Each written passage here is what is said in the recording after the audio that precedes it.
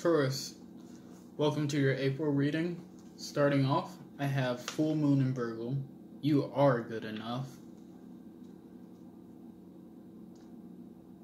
So what I'm seeing is like this is revolving around like self worth. Like you have, what I'm seeing is like you can kind of like conceptualize your self worth, like in terms of like, um, let's just say this is the idea of what I have. Like I'm worthy of. I'm worthy of A, B, C. I'm worthy of this per- dating this person, being with this person, going to this school, and doing that thing.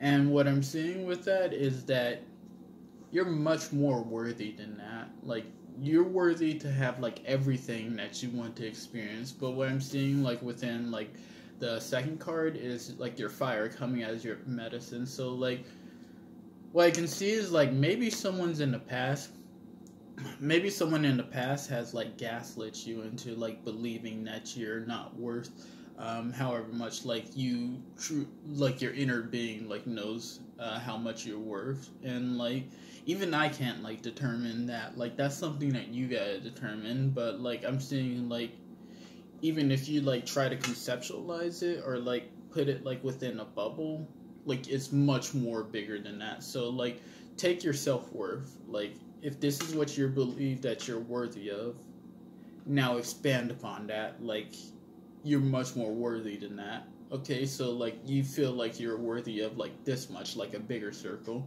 Well you're much more worthy than that.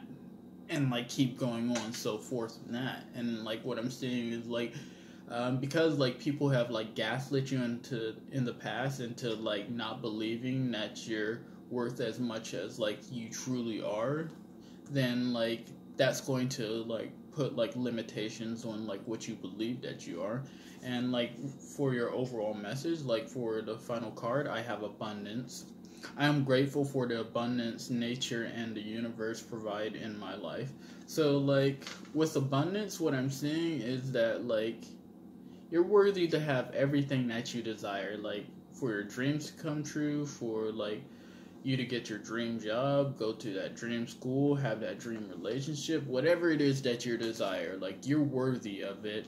But i feel like you need to calm your inner fire first. So like um i feel like therapy like would be like a really good way for like you to resolve that or like some sort of way for like get like some sort of therapist. Like what I'm seeing also like ASMR that um, I've been looking into those. Like it's real. It's very therapeutic for me to like understand like my own value. And I feel like once you understand like that you are good enough to have whatever it is that you desire, like the abundance will follow.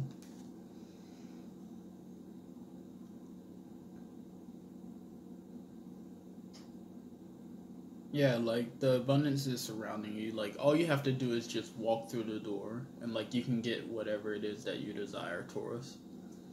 Alright, so that's all I have for you during the month of April. Thank you for watching, Taurus. Um, keep those vibrations raised way up. Um, I feel like Leroy Alexandra says that, but either way, like that's what we're about um, during April, like raising our vibrations and um, doing good. So stay safe and take it easy, Taurus.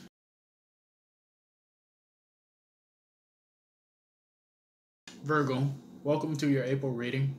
Starting off in your first, with your first card, I have the end of a tough cycle approaches. So since this is the full moon in Capricorn, what I could see is like if you've been working hard or if you've been like putting your nose to the grind, and I can see like um, all that work is like finally paying off. So like if you've been like saving up for like uh, trying to move out or like trying to get your own apartment, then like I can see that as like a possibility. And like with your second card, I have the sacrifice coming as your medicine. So like maybe you've been saving up for like your own place, and then like um it might seem like a little pricey, but it's going to be worth it because like all the effort and hard work that you've put into like trying to obtain it, it's like actually like coming into a fruition And what I'm seeing is like um, with the sacrifice, like even though this is something that you're letting go of, so like you're letting go of like all this money that you have to give to like uh, put a down payment on like an apartment or your own place, like it's going to pay off because like every sacrifice that you give is going to be the better, especially if it's like you heading towards something.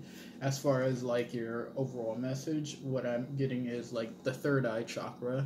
So like I see the wisdom of my higher self and I apply this wisdom in my life.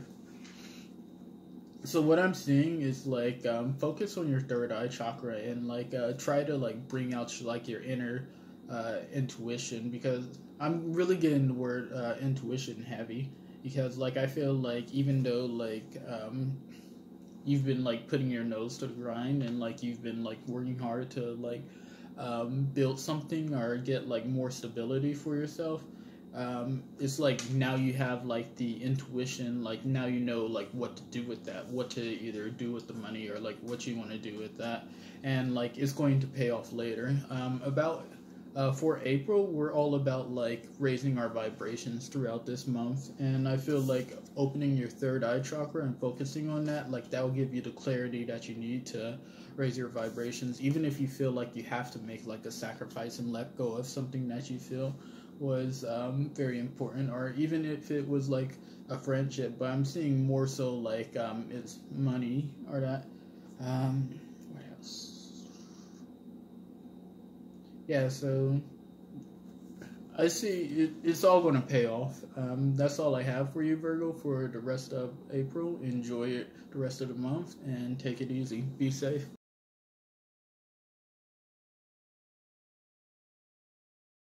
Capricorn, welcome to your April reading. Starting off with your first card, I have Communication is the Key.